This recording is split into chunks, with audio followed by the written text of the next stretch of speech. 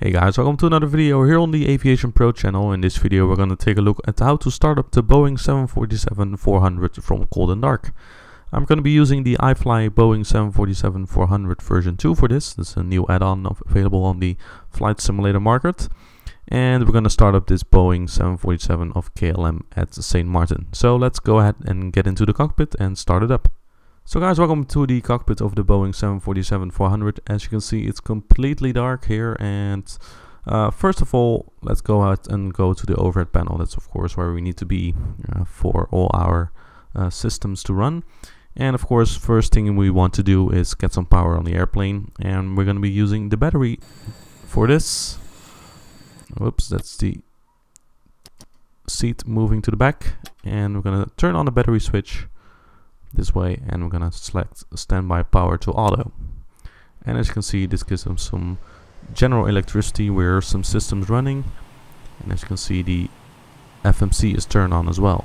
So let's take a look. All you have to do now is go and check a, a few systems on the airplane. Um, the electrical engine control switches should be to uh, normal. Then of course we want to uh, let the cabin in the back get some electricity as well so we're going to turn the utility switches on. We're going to turn on all the bus tie switches so that all the electrical systems going to work properly. And let's take a look. We're going to use the general uh, or generator control switches. We're going to turn them on.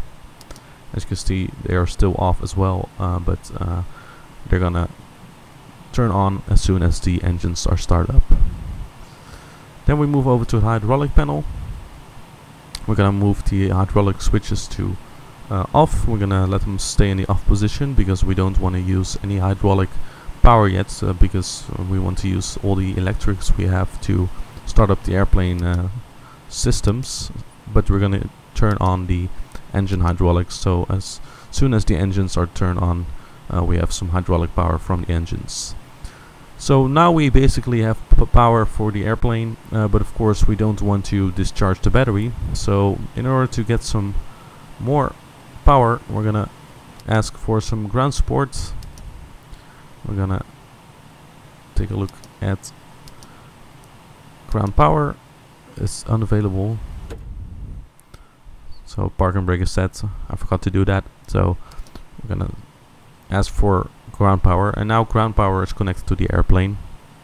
And uh, in most add-ons uh, including the PMDG, PMDG 747 you can ask for ground power. And as you can see the external power switches 1 and 2 now show available. So that means that electrical power from the ground is available and we're gonna select those. And as you can see we're now not discharging the battery and the utility bus switches are on as well right now. Okay so we now have basic electrical power on the airplane and what we need to do now is align the IRS so that the aircraft knows its own position.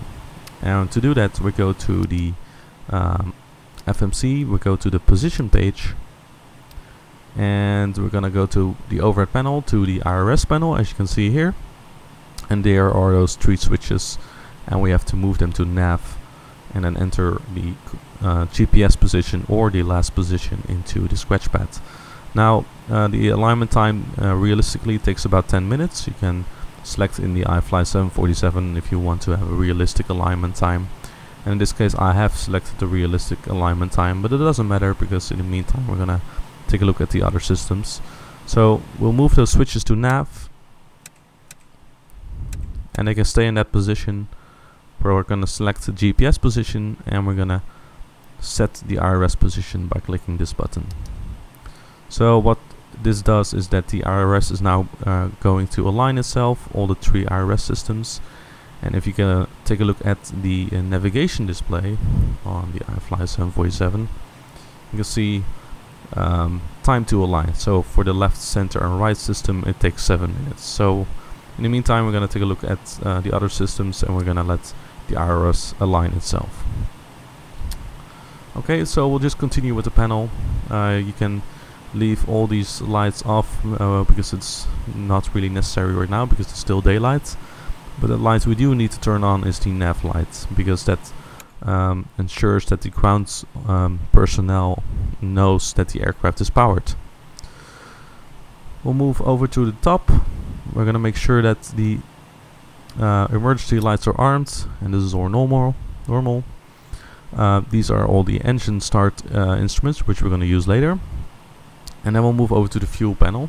We'll just move forward a little bit. And what is important to do is to have all the crossfeed switches turned on. Alright, and you can leave the rest of this because um, when we're going to start the APU, uh, the APU will automatically turn on two of the um, fuel pumps, so we can leave all the systems off right now. Okay, and then we'll move over to the next panel, um, anti-ice, where it's not required. Um, you would only use this if the temperature is below 10 degrees and there's visible moisture. But we are at Sint Maarten, it's very hot here, so we're not going to use any anti-ice. And you normally turn this on after engine startup. What we do going to turn on is the window heat, of course, that is always a requirement. Okay, so if we go now to the right, we'll turn the yaw damper on, as always and we'll leave these systems for now because uh, we are not having any air yet so uh, what we need to do now is of course start the APU to get some real um, air flow through the cabin. So starting the APU is a very simple process. As I've said you don't need to turn on any fuel pumps at this stage. Just go to the APU panel and move it to the start position and now uh, the APU is going to start and it takes a few minutes and then the APU generators just like the external power will show available in a few moments and then we're going to use um, these systems. Okay so now the APU has started up. As you can see it shows available and just to show you that um, these two fuel pumps have been uh, automatically turned on. So the APU is using fuel from these tanks. Um, what you have to keep in mind is that you have to turn on these fuel pumps later on yourself. So even though they're turned on automatically by the APU, you actually have to click them in order to turn them on. But we're going to leave that for later. For now, we're going to go to the APU generator switches and turn them to on. So as you can see, we're not using external power at this stage, we're using the uh, electrical uh, system from the APU and the APU is now providing ele electricity to the aircraft. And what we can do now as well is go over to the uh, air conditioning panel and get some air flow through the cabin. So let's take a look. Uh, you can leave this panel as it is. Passenger and flight deck temperature on auto. Uh, we're gonna turn the trimmer on recirculation uh, fans on. The cargo heat, uh, you usually turn that on when you have something like animals in the cargo area. So uh, let's say just for fun we're carrying some animals. So we want to have cargo heat on as well. Equipment cooling to normal. Uh, high flow is not necessary. The Gasper and the humid on. So um, Gasper are those, I believe those are those you know little air vents above your head when you're in the seat in the airplane. You can, you know, uh, turn those things so there's some air. You get some air, and humid. I guess it just makes the air humid, but I'm not entirely sure. Uh, then we'll move over to the packs. We're gonna turn the isolation switches uh, on. We're gonna open them so that air flows through all the systems equally. And we're gonna just turn on all the bleed systems. Also the engine bleeds because you're gonna need that for the startup and then we can turn on some packs at least one for now. And as you can see and here especially here as we turn on the packs we can hear some airflow through the cabin. So I guess one pack for now is fine. So what we have done now is basically start up up the uh, airplane's electrical systems. We have some air running through the cabin. And as you can see the IRS has been aligned now as well um, so at this stage we would normally program the FMC for example and make sure that uh, the whole flight plan is uh, entered. But I'm not going to show that in this video. This video I'm going to purely show the startup procedure which is already quite complicated and not as easy as for example the 737 or the Embraer. So uh, now we have all the electrical and air systems started up. Let's take a look at how to start the engines. Okay so now it's time to start up the um, engines on the airplane. And to do that, uh, let's first take a look at the hydraulic panel. We're gonna move these switches, the demand switches to auto, except for the number 4. We're gonna move that to aux, auxiliary. And what this does is basically, it, this will, one will use electrical power to power the hydraulics, while the others will at some point use the engine hydraulic um, power as soon as the engines are started. Um, and then we'll move over to the fuel panel. And the fuel system on the 747 is a little bit tricky. It's not as easy as the other um, uh, systems. Um, let's first just turn all of those pumps on. And during the flight you kind of have to adjust the uh, way the fuel pumps are co configured you normally during the flight you will uh, get some warnings when uh, something is wrong with the configuration of the fuel system and then you can adjust it that way. Uh, but what is important for startup is the way we configure um, the crossfeed and we're go just going to take a look at the fuel panel or the fuel display. And the general rule for the crossfeed switches as you can see here these two crossfeed switches if there is more fuel in tank 2 then tank 1 you turn on the crossfeed for between uh, tank 1 and tank 2 okay? And if tank 3 has more fuel than tank 4 you also turn on this crossfeed valve.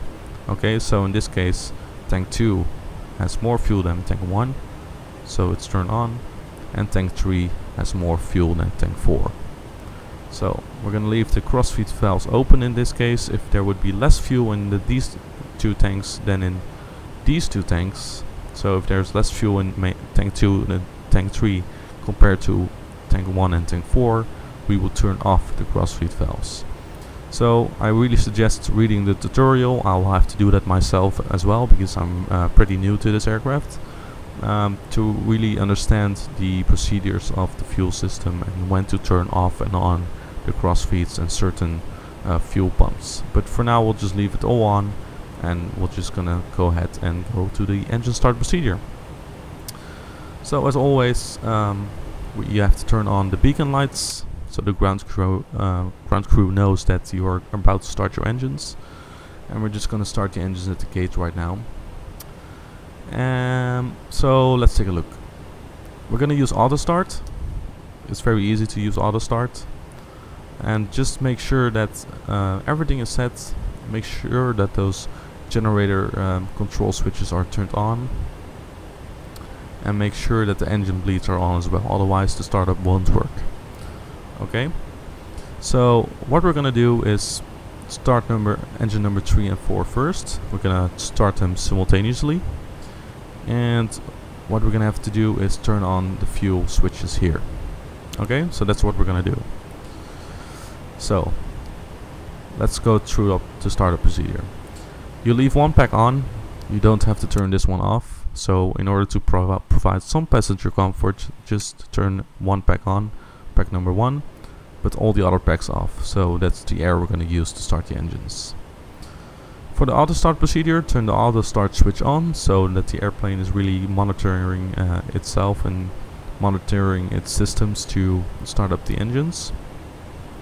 And what you have to do now is pull these two switches and then immediately also turn on the fuel control switches. So we're going to pull 3 and 4 and we're going to turn on the fuel control switches on 3 and 4. We're going to go to the engine page and as you can see N2 is rising just zoom in a little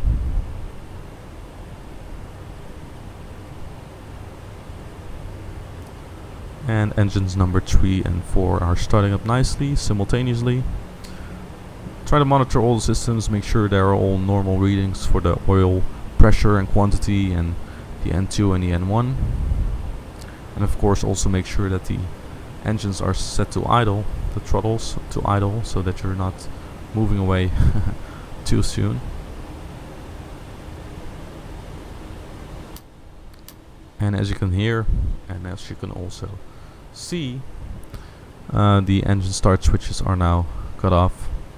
And as you can see, for the um, the the number three and number four generator systems are now taking over. So we're not using external power 2 and we're not using APU generator 2 now.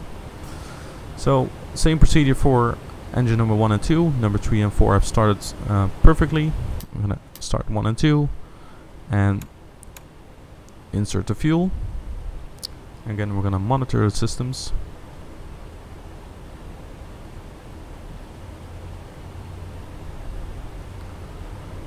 N2 is rising.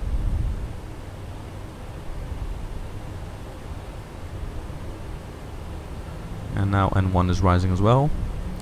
Of course you can also use the non-auto start procedure. Uh, you have to read the manual for that and basically what it is is that you um, apply the fuel yourself at some point at um, something like 14% N2 but for now this is the most convenient way and we can start the engines very quickly. And as you can hear the starters are cut out. And engines number 1 and 2 are starting up perfectly. So let's take a look. We got a few warning here as you can see we can move the fourth hydraulic system back to auto. We can go over to the packs and select them to normal so that all the packs are running. And as you can see uh, the fuel pump stabilizer left and right um, there's an issue with that. Apparently we don't need to turn them on so we're gonna turn them off. Again it's a bit of a tricky system. I myself still need to find out exactly how it works because I haven't flown the 747-400 that much. Uh, but at least now the aircraft is started up. And what's always good to do is look through all the systems on the overhead panel okay? So just move around a little. The IRSs are aligned, the electrical engine control switches are normal, utility switches are on, we can turn the APU off, make sure that the generators have taken over, and which they have, so we're going to turn the APU off. The hydraulic panel is all set, all the switches are on and on auto. Emergency lights armed, um, fuel pump system is all set. Window heats on. And of course, I think most importantly is that the air conditioning is set properly. So we have all the packs running and all the engine bleeds are on and we can turn the APU bleeds off because the APU is turned off. Okay, so as you can see it's a bit of a tricky procedure compared to more simple aircraft like the Boeing 737 or the Embraer uh, 2 aircraft which I often fly and which are very easy to start up. But um, at least um, if you follow all the procedures um, carefully and if you read the tutorial uh, a bit more to get a bit more in-depth information about the, all the, the logics behind all the systems, it's pretty straightforward in the end. So guys, thanks for watching this video on how to start the Boeing 747-400 from cold and dark. I hope this video helped you out. If you have any questions, please leave them in the comment section below. Also make sure you check out my review of the new iFly Boeing 747-400 version 2. Uh, it's a very nice add-on uh, for a lot of flight simulators, FS2004, FSX and Prepar 3D, so make sure you check out that review. For now I'd like to thank you for watching this video and I hope to see you next time.